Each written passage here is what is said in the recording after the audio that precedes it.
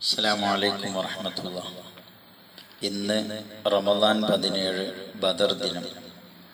അധർമ്മവും ധർമ്മവും തമ്മിൽ സത്യവും അസത്യവും തമ്മിൽ അക്ഷീണ പോരാട്ടം നടത്തിയ സമരഭൂമികയായ ബദർ രണഭൂമിയിലെ തുല്യതയില്ലാത്ത അവിസ്മരണീയമായ നിമിഷങ്ങൾ കാഴ്ചവെച്ച ബദർ ശുഹതാക്കളെ ലോകം മുസ്ലിംകൾ അവരുടെ നാമം ഉരുവിട്ടുകൊണ്ടും അവരുടെ പേരിൽ മധുഹകൾ പറഞ്ഞും അന്നദാനം നടത്തിയും ബദർ മൗലീദ് പാരായണം ചെയ്തും ദ്വാ നടത്തുന്ന പ്രാർത്ഥന നിർഭരമാകുന്ന സാഹചര്യമാണ്. പ്രത്യേകമായ ഈ സാഹചര്യത്തിൽ കോവിഡ് കൊറോണ ലോക്ക്ഡൗൺ ഒക്കെ അടങ്ങിയ സാഹചര്യത്തിൽ പള്ളിയിൽ ഒരുമിച്ച് കൂടാനോ മൗലിദ് പാരായണം നടത്താനും കഴിയാത്ത ഈ ഘട്ടത്തിൽ എല്ലാവരും കുടുംബസമേതം വീടുകളിലിരുന്ന് മജ്ലിസുന്നൂർ പാരായണം നടത്തുകയും ബദർ മൗലീദ് പാരായണം നടത്തുകയും ചെയ്ത് ബദർ ശ്രോതാക്കളുടെ പുണ്യവും ബർക്കത്തും നേടാൻ ശ്രദ്ധിക്കണമെന്ന് ഓർമ്മപ്പെടുത്തുകയാണ്.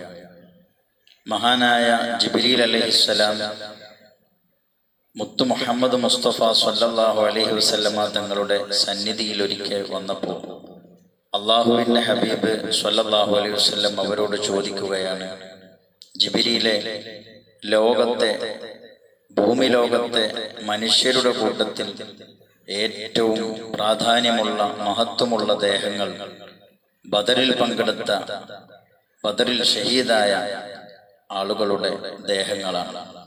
എന്നാൽ ആകാശലോകത്ത് മലക്കുകളുടെ കൂട്ടത്തിൽ അങ്ങനെ വല്ല പ്രാധാന്യമുള്ള പ്രത്യേകമായ പോരിശയുള്ള വല്ല ദേഹങ്ങളും ഉണ്ടോ എന്ന്?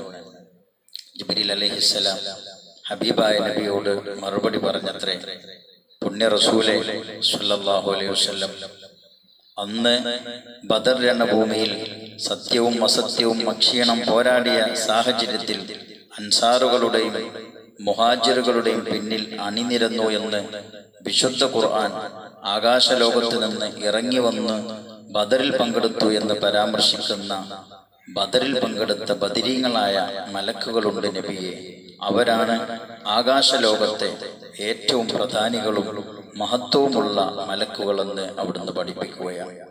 ഈ ഹദീസിനെ ഈ ചരിത്രത്തെ ചേർത്തി വെച്ചുകൊണ്ട് ഒലമാക്കൾ പറയുന്നത് ബദിരീങ്ങളെ കാക്കണേ അല്ലെങ്കിൽ ബദർ ശ്രോതാക്കളുടെ പേരിലുള്ള നേർച്ച നടത്തുമ്പോൾ മനുഷ്യരായ മുന്നൂറ്റി പതിമൂന്ന് അസ്ഹാബുൽ ബദിരീങ്ങൾക്ക് പുറമെ ആകാശലോകത്തെ പുണ്യമാക്കപ്പെട്ട ആ ബദർ രണഭൂമിയിൽ പങ്കെടുത്ത മലക്കുകൾ കൂടി ഉൾക്കൊള്ളൂ എന്നു എന്ന് ചരിത്രത്തിൽ നിന്ന് മനസ്സിലാകും.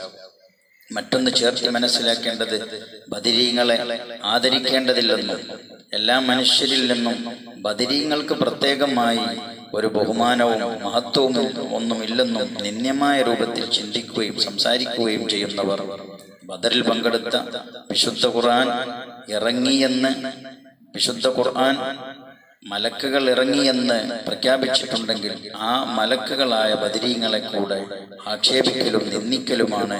അതുകൊണ്ട് ഒരുപാട് വിപത്തുകൾ വന്നു ചേരുമെന്ന് മനസ്സിലാക്കി അവിധമുള്ള ചർച്ചകളിൽ നിന്ന് നമ്മൾ മാറി നിന്ന് ബദർ പുണ്യം ലഭിക്കാൻ അള്ളാഹുവിനോട് കൈകൾ ഉയർത്തി പ്രാർത്ഥിക്കുക.